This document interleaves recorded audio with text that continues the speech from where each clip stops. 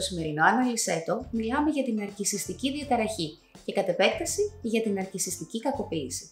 Η οικογενειακή ψυχοθεραπεύτρια Μαρία Κανδεράκη μας βοηθά να καταλάβουμε περί τίνος πρόκειται, σε τι αναφερόμαστε όταν μιλάμε για ναρκισιστική διαταραχή και κακοποίηση και ξεκινάμε ευθύς αμέσως για να ακούσουμε τα εννέα χαρακτηριστικά μιας ναρκισιστικής προσωπικότητας. Για να έχουμε ή να χαρακτηριστεί κάποιος με ναρκισιστική διαταραχή προσωπικότητας, θα πρέπει να πληρεί την πλειοψηφία από τα εξής 9 χαρακτηριστικά, Ανδριανή. Σημειώνεται, παρακαλώ. Το ένα είναι ένα υπερμεγέθης εγώ που θέλει συνέχεια να φανεί. Είναι αυτοί που στη συζήτηση θα συζητάμε για ταξίδια και θα πούνε εγώ να σου πω που έχω ταξιδέψει θα συζητάμε για δουλειές. Ξέρεις τι δουλειές έχω κάνει εγώ; Ξέρεις από πότε δουλεύω και τι προκοπή και τι εργατικός. Είναι αυτό που η οποιαδήποτε συζήτηση περιστρέφεται και έρχεται πάντα στο εγώ. Μάλιστα.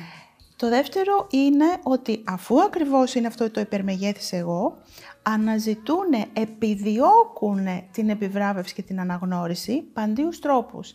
Δηλαδή, δεν θα κάνω μια δουλειά που την αγαπώ, να τη δημοσιεύσω στα στα media και να χαρώ για το αποτέλεσμα, αλλά θα κάνω μια τέτοια δουλειά ώστε να πάρω παραπάνω likes. Δεν θα φέρω μια ψυχολόγο ή δύο που έχεις εσύ απόψε να μιλήσουν για να ενημερωθεί ο κόσμος, αλλά θα φέρω ένα ζευγάρι και την κόμενα του κυρίου να μαλλιοτραβηχτούν στην εκπομπή, γιατί έτσι θα έχω χιλιάδες ακροαματικότητα. Μάλιστα. Αυτό είναι το δεύτερο. Επιζητώ την επιβράβευση και ο σκοπός αγιάζει τα μέσα μετά εκεί. Το, α, το άλλο, Ανδριανή, είναι ότι αυτοί οι άνθρωποι δεν επιδέχονται κριτική γιατί για τα πάντα είναι τέλειοι. Φταίνει οι άλλοι. Ο γυαλός είναι στραβός, όχι εγώ στραβά αρμενίζω. Έχουν πάρα πολύ οξύθυμο ε, χαρακτήρα, δηλαδή ε, δεν έχουν αυτοκυριαρχία στα συναισθήματά τους. Εκρήγνεται, ανα πάσα ώρα και στιγμή. Ναι, ανα πάσα ώρα και στιγμή και χωρίς το ερέθισμα να ανταποκρίνεται στην αντίδρασή τους. Έχουν αδυναμία να, ε, σε ενσυναίσθηση. Να καταλάβουν πώς νιώθω εγώ, τη θέση Δεν μπορούν να μπουν στη θέση τη δικιά σου ή το οποιοδήποτε έχουν απέναντί τους. Δεν μπορούν να καταλάβουν η δικιά τους συμπεριφορά τι επίπτωση έχει στους αποδέκτες, με αποτέλεσμα αυτό τους κάνει πάρα πολύ σκληρούς και πολλές φορές και εκδικητικούς. Δεν θέλουν να έχουν τον έλεγχο στα πάντα. Άρα γίνονται αιμονικοί με τους ανθρώπους. Και η δικιά τους η άποψη είναι Ευαγγέλιο. Δεν επιτρέπεται να έχεις άλλη άποψη. Μάλιστα. Και πώς δεν υποκλίνεσαι στη δικιά τους την άποψη. Ωραία. Και αυτό τους κάνει, αυτά τα δύο προηγούμενα, η αδυναμία να έχουν ενσυναίσθηση και να έχουν συνέχεια τον έλεγχο, είναι το επόμενο χαρακτηριστικό ότι έχουν πολύ ρηχά συναισθήματα. Και αντίστοιχα λοιπόν, επειδή τα συναισθήματά τους είναι πολύ ρηχά, το εύρος είναι πολύ μικρό, για να μπορέσουν να νιώσουν και οι ίδιοι και κατόρθωμα, εστιάζονται στα φαινομενικά, δηλαδή στα superficial, στην επιφάνεια. Ας ακούσουμε τώρα από τη Μαρία πώς δημιουργείται, πώς γεννιέται ένας νάρκισσος και πώς αυτό το χαρακτηριστικό εξελίσσεται σε διαταραχή. Κρατήστε εδώ τον ρόλο των γονιών και ιδιαίτερα της μητέρας εισπράττει το παιδάκι. Όταν εγώ εκφράζω συνέστημα, η μητέρα καταραίει. Όταν εγώ εκφράζω συνέστημα, δημιουργείται πρόβλημα στην οικογένεια. Όταν εγώ εκφράζω πολύ ενθουσιασμό ή θλίψη ή δυσφορία, όταν εγώ εκφράζω συνέστημα, κάτι δεν πάει καλά.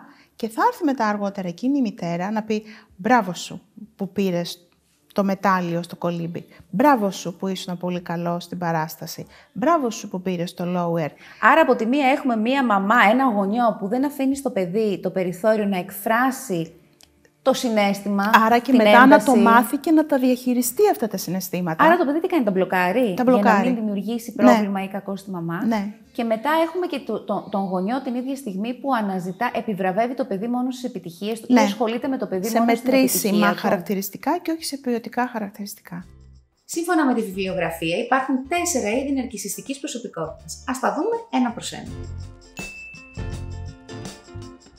Το ένα λοιπόν είναι ότι είναι αυτός που έχει το μεγάλο, το υπερμεγέθης εγώ και θέλει να πιάνει όλο το χώρο. Αυτός ο άνθρωπος αν έχει με δίπλα του μια γυναίκα που θέλει και αυτή να κάνει ένα project, να κάνει ένα μεταπτυχιακό, να κάνει μια δικιά της επιχείρησης, εσύ δεν είσαι άξια. Το δεύτερο είναι ο μοχθηρός ναρκισιστής. Βλέπε Τραμπ που όχι απλώς θέλει να προβληθεί, αλλά είναι και διατεθειμένος να πει ψέματα, να χρησιμοποιήσει δόλο προκειμένου να πετύχει τους στόχους του, που δεν σταματάει με τίποτα.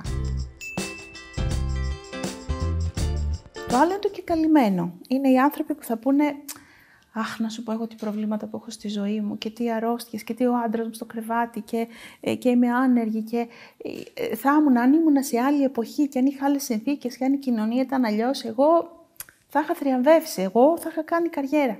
Είναι αυτός ο οποίος δεν φωνάζει κοίτα το εγώ μου, αλλά λέει κοίτα εγώ αξίζω την προσοχή σου γιατί έχω αξιόλογα προβλήματα. Και το τελευταίο είναι το θέλω να σώσω τον κόσμο, αλλά να έχω δίπλα και μια κάμερα ή ένα κινητό να το ανεβάζω να το δείχνω. Η επόμενη ερώτηση είναι κομβικής σημασίας. Μπορώ να ζήσω δίπλα σε έναν άνθρωπο με ναρκισιστική διαταραχή και να διατηρήσω την ψυχική μου ηρεμία, υγεία και νυφαλιότητα. Εάν είναι ο γονιός μου, γιατί είναι και η τραγωδία να έχω μεγαλώσει με ένα γονιό ναρκισιστή ε, και δεν μπορώ να τον αλλάξω, θα πρέπει να επαναπροσδιορίσω τις προσδοκίες που έχω από αυτό το γονιό και να επαναπροσδιορίσω τι σχέση και τι συνέστημα μπορώ να πάρω. Εάν είναι σε ένα γάμο που δεν θέλω να φύγω ή σε μια σχέση που δεν θέλω να φύγω, να επαναπροσδιορίσω τις προσδοκίες που έχω. Γιατί αυτοί οι άνθρωποι κάνουν και το εξής. Στην αρχή μιας γνωριμίας, για να νιώσουν ότι τα καταφέρανε, θα φλερτάρουν και θα κορτάρουν μία κοπέλα και θα κάνουν πράγματα extravagant. Θα κάνουν.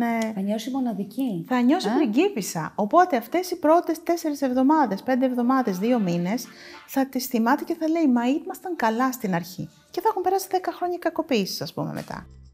Αλλάζει ναρκισιστής. Αυτή είναι μια ερώτηση που μάλλον κρύβει πολλές προσδοκίες. Ο μόνος που δεν αλλάζει είναι ο Νάρκησος. Αυτό δεν είναι απλώς θέμα συμπεριφοράς που του ξέφυγε, ότι είναι διαταραχή και ότι δεν αλλάζει. Η τελευταία μας ερώτηση είναι πώς βγαίνουν τα θύματα από τη σχέση τους με έναν άνθρωπο με ναρκισιστική διαταραχή. Και αναφέρουμε τον όρο θύματα, διότι η διαταραχή αυτή δημιουργεί κακοποιητική συμπεριφορά. Καταρχήν να το συνειδητοποιήσει, να ξέρει τι έχει απέναντί του και μετά ό,τι συμβαίνει να μην το παίρνει προσωπικά σαν απόρριψη ότι συμπεριφέρεται έτσι γιατί εγώ δεν αξίζω. Οι συνέπειες μπορεί να είναι παραδείγματος χάρη και ότι χάνω μετά το μέτρο. Διότι συζητάω με τον άλλο και με βγάζει πάντα λάθος. Γιατί είπαμε ο γελός είναι στραβός, δεν φταίει να λαμβάνει ευθύνη. Χάνεται η αυτοπεποίθησή μου, η αυταξία μου, γιατί με, μου τα φορτώνει πάντα όλα εμένα. Άρα κάτι δεν κάνω εγώ καλά. Εγώ είμαι στραβός. Οπότε αρχίζω και αμφισβητώ τον εαυτό μου. Και αυτοί οι άνθρωποι μετά, όταν τελικά θα βγουν, βγαίνουν διαλυμένοι από αυτό, είτε είναι συνεργασίες, είτε είναι υπαλληλική σχέση, είτε είναι σύντροφοι. Δύσκολο το θέμα που πιάσαμε σήμερα. Η Μαρία ήταν κατατοπιστική και σαφής, τόσο για τους ανθρώπους με ναρκισιστική διαταραχή, όσο και για όσους ζουν μαζί τους. Αν αισθάνεστε ότι αυτό το βίντεο μπορεί να βοηθήσει κάποιον, παρακαλώ μοιραστείτε το μαζί του, για να φτάσει η σωστή πληροφορία εκεί που πραγματικά υπάρχει ανάγκη.